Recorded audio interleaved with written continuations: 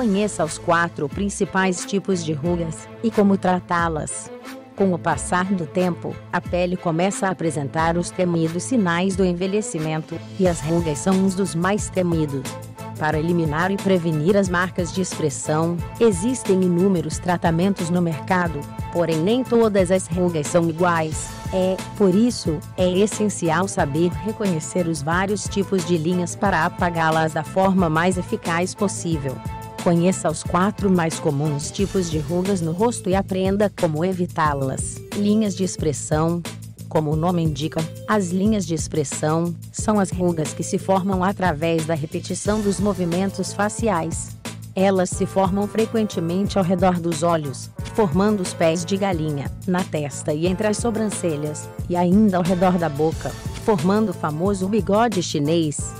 Este tipo de rugas pode ser causado tanto pelas expressões que acompanham a fala quanto pelos movimentos feitos na hora de se maquiar.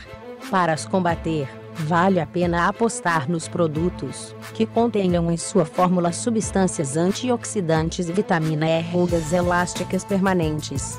As rugas elásticas permanentes são consequências do envelhecimento genético e podem ser agravadas pela exposição ao sol sem proteção ao longo da vida. Elas aparecem por conta do afinamento da pele e ainda pela perda intensa de colágeno, surgindo geralmente nas bochechas, lábio superior e base do pescoço. É essencial aplicar o protetor solar com FPS elevado todos os dias. Rugas gravitacionais já as rugas gravitacionais são causadas exclusivamente pelo impacto da gravidade na pele, fazendo com que ela perca elasticidade e fique com um aspecto descaído. Geralmente, são dobras que se formam nas laterais do rosto, onde a pele é mais fina, formando dobras e linhas inestéticas. Os liftings cirúrgicos são os tratamentos mais eficazes para reverter o problema, mas para o prevenir, as massagens faciais são também indicadas. Linhas finas.